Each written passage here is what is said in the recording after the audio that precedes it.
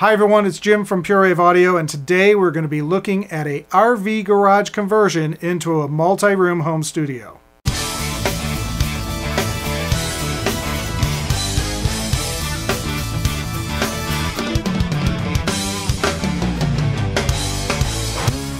We have uh,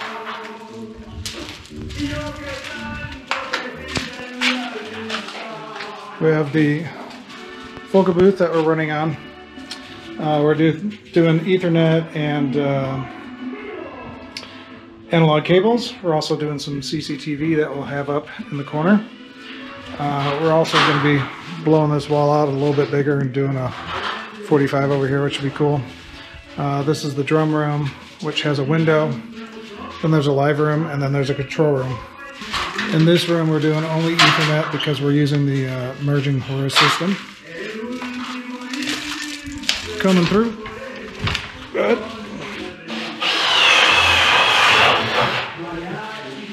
So over here we're going to have uh, like a hi-fi listening room built into the live room. And uh, doing our cables, we got CCTV, we got CC monitors, um, we got SDI cables for floor cameras. This is the console that we'll be uh, putting in for a S6 system. And this is all our doors and windows, and we got doors over there you can see on the ground. These are all special studio doors. And uh, all special studio windows that are going in. And then we got a bunch of home runs. Um, so it's getting pretty crazy, but uh, it's looking pretty good. All the air conditioning will be floating off the ceiling. It's looking good. So now that you have a little overview of where we are in the project, I want to kind of show you where we are starting from. So this is a RV garage, like a mobile home garage that of course is tall and long and slender, if you will.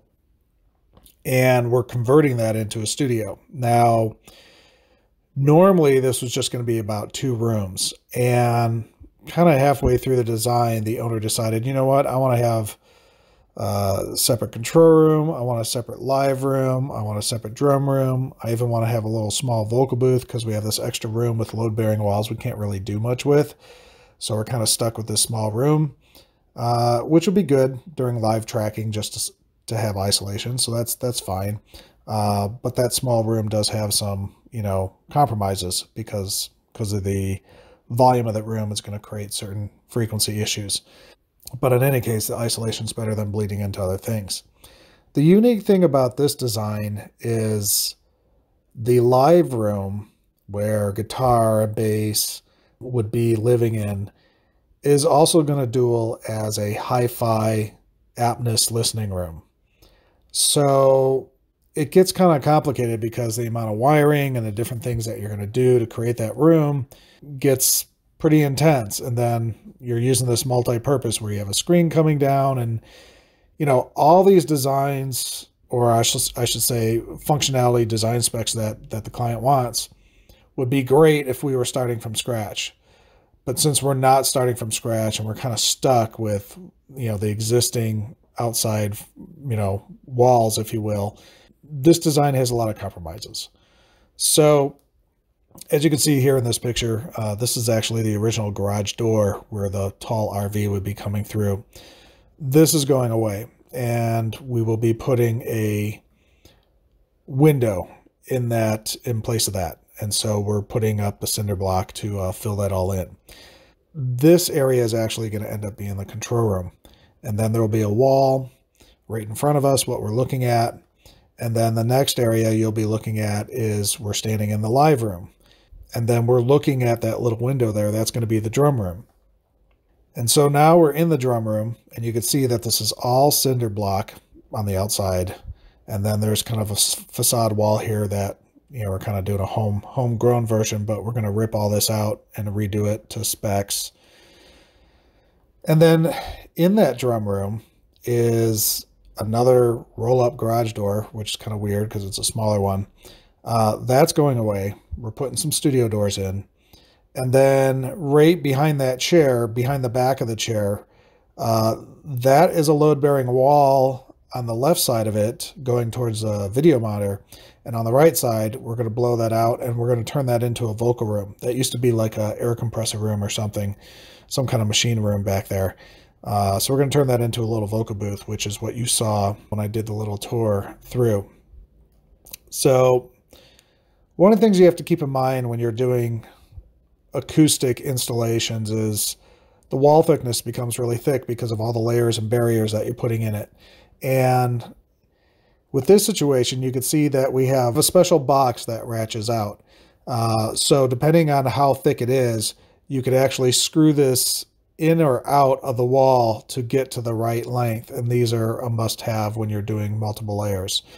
And we have a little bit of space, not much, but keep in mind that the mineral fiber that we're putting in here is only two inches thick and you have about three or four inches before you hit the existing wall.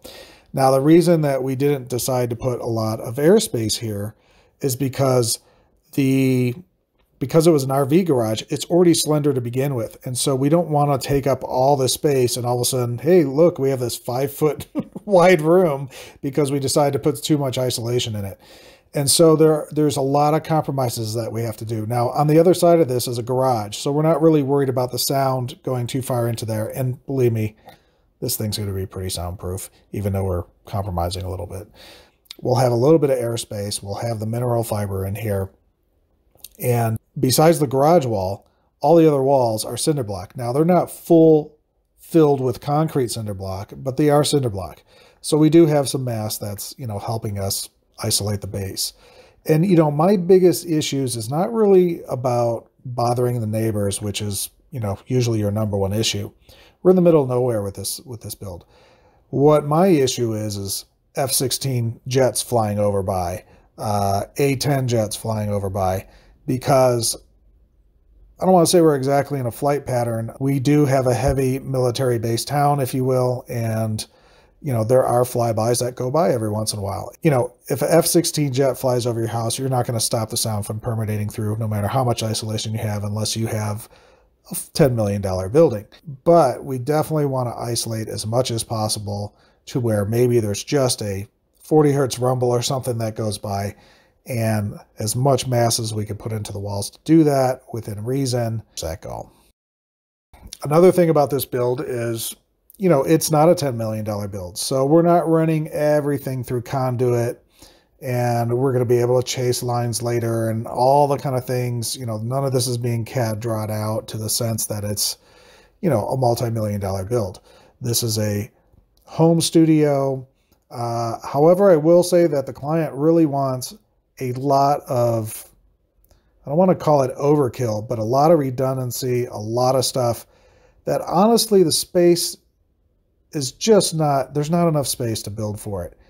And he wants to put it in anyways. And so there are some, what I'll say, compromises that I have to deal with because the client wants certain things that I don't believe are, you know, necessary to put in the build, but it's what he wants. And so we're going to do with that. Again, if we were building this from scratch, it'd be a different, different, you know, told, totally different animal.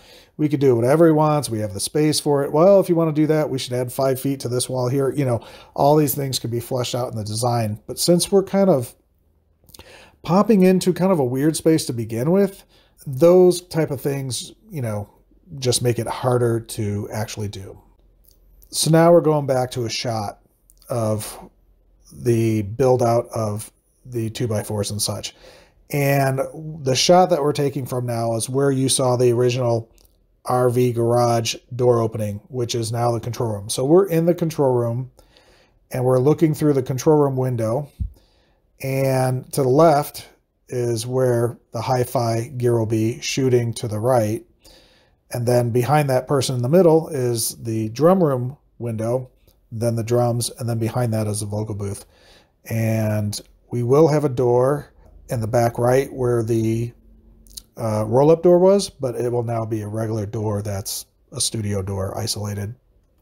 Now, what you're seeing here is all the special studio doors, studio windows, a special custom console that was built for the S6 that's going in. And again, here's one of these things where this S6 console was built with the S6 in mind, and it's honestly, it's too big for the room. But this is something that the client wants, so we're putting it in the room. And literally that console is going to be right up to the door edge, and it's going to go probably mostly almost, all, all the way over to the wall, which means the racks need to come further back. And, you know, there's all these little compromises that are going on where if I was given I don't want to say carte blanche, but to design the studio, I would design it totally different, a little bit more ergonomic. I would make the space work the best that space would be, but I'm not in that position to do that. So, you know, it is what it is. So here's without the uh, control room and the drum wall, isolation walls with the windows in them. And you can now start to see that cavity off to the left side, um, which will have the hi-fi center. And then somewhere around where the ceiling uh, two by fours end is where a screen would like electronically lower down and you'd be able to watch you know, your movies or you know shows and Atmos audio. Now, along with that, the control room is going to be able to mix Atmos audio. So we have two actual rooms with full Atmos spe speakers in it, and it's going to be uh, four in the ceiling, four in the surround, and then your left, right, and probably center. And so that's true for two separate rooms. So as I'm explaining this, you could kind of see that, man, that's a lot of stuff, a lot of infrastructure, a lot of cabling, a lot of duality. Um, it's just a lot. And so, but is what it is. So one of the things that we decided to do, because right now all they have is a split little tiny unit that is up on the ceiling for air conditioning. Well, those are super noisy and hard to record, and they're isolated to the one room, so you'd have to have multiple units. So we decided that we're going to put a real air conditioner in, which made us lower the ceiling about a foot and a half so we could get our air conditioning runs across the whole building. Now, one of the issues with that is you have to look at making sure that you're not putting in a run that goes to the live room and to the control room and then you got an instant hole you just put where the sound goes through from one room to the other. You have to do home runs for all the air conditionings and that way everything will run back to the home and not be able to bounce around 180 degrees and come back to the other room. Plus these are all insulated ducts. They'll probably have some curves and stuff in them too so um, that if there is any kind of bleed of sound, it's going to get eaten up in whatever insulation is inside of those ducts and the way that they're run and and turned around. So there's no just direct reflection or or hole or pathway from one room to the other. So what I'm doing at this point is I'm kind of helping out figure out where the speakers are going to be for the Atmos ceiling speakers, where they're going to be with respect to the acoustics that we're putting in because all the bass traps come a certain space off the wall. And then from there, we have to know where the acoustics are going and we have to get around the speakers and then we have to get around the lights. And so there's just, you know, with all the like the windows and we added the extra window in the back to the outside of the building. When you start adding all the windows and then you got four speakers uh, somewhere around, you know, four or five feet tall uh, going around, then you have four in the ceiling, and then you have all the lights, and then you have the air conditioning vents. There's no room for acoustics anymore. You just filled up the whole the whole ceiling and walls with speakers and lights and such. So this is probably the most difficult install I've ever done, and it keeps morphing, which is tough also. I like to design, I like to buy, and I like to implement and just bam, bam, bam, and everything's figured out. And this one's kind of been morphing and changing as we go, um, you know, from the client. And uh, that's been very difficult for me to deal with because that's just not how I do things personally. Um, but I think at the end of the day, uh, the client's going to be really happy. They'll have exactly what they want. Obviously, there's going to be some compromises. Uh, but the client's happy with those compromises because he's choosing to do those certain things. Um, and, uh, you know, I think it's going to really work out and be really nice uh, once we get to the end. So where it stands right now is uh, all the wood is in for building the walls. And I think they're shimming in the doors as we speak, which I'll do an update on that. And then later on, they're going to start putting up all the uh, mineral fiber and the RC8 channels and then start doing drywalling. And so in the meantime, I've been just ordering equipment and getting things in, especially with some of the delays that's, you know, the shipping delays that are out there, uh, you know, at this moment in time, just trying to make sure we get things in. So there's no delays in actually setting up the studio. Um, now, one of the things that the client wants to do is like, well, you know, I'd like to get the control room up first and then, you know, we'll worry about the other rooms. And it's like, okay, I understand you have a priority there, but there's drywall dust. There, it will get into everything. So let's finish the drywall. Let's get the whole place painted. Let's get, you know, whatever flooring things going on finished. And then we don't want to put any consoles or anything in the way because now I can't get my ladder to get the acoustics up, right? So I understand the concerns of being priority, a certain room or whatever, but at the end of the day, penny wise, pound foolish. You really need to finish all the drywall, finish all the paint, finish all the flooring, get all the acoustics up and the speakers installed and everything that's in the walls, if you will, done. And then from there, if you don't want to put mics out and you don't want to do stuff in the live room or the drum room or any of that stuff and you just want to get the control room grown, great. But you're not going to get that that drywall dust will get into everything and it will mess your audio up and it, it's just really bad. So there's certain things that you have to do in a certain way and we're just going to try to keep on task to make sure that that happens for this install. So I'll give you an update as it goes, hopefully, and uh, we'll see this thing how, how it flushes out towards the end. Appreciate it and have a great day. Building on top of the first course, the Studio Edge Pro audio recording series called Studio Concepts, Gear, and the Physics of Sound, Jim Pavett's next course, Planning a Studio, demystifies the planning process and teaches you how to get your studio designed and built. You see how to define your goals, plan your budget, and zero in on your musical philosophy so that your new studio will be in sync with your vision. It will also teach you about acoustics, including absorption, diffusion, NRC ratings, and room modes. Once you have these in place, the Constructing and Fine Tuning Your Studio course teaches you how to construct your studio, including floating floors, walls, and ceilings, and how to balance your acoustic treatment to get proper sounding rooms. Power, grounding, and HVAC systems are also discussed. A guest appearance from renowned acoustician Gavin Haverstick discusses the final results of a control room tuning and why having your rooms tuned is important. In the case study Home Studio Edition course, you get to join Jim Pavett as he consults with the owner and the construction team as they all work together to build a home studio edition. Real interviews and consulting with the contractor and owner bring all the theory to life and reveal some trials and tribulations of building a studio. This five star rated three pack course is a necessity to having a properly built studio.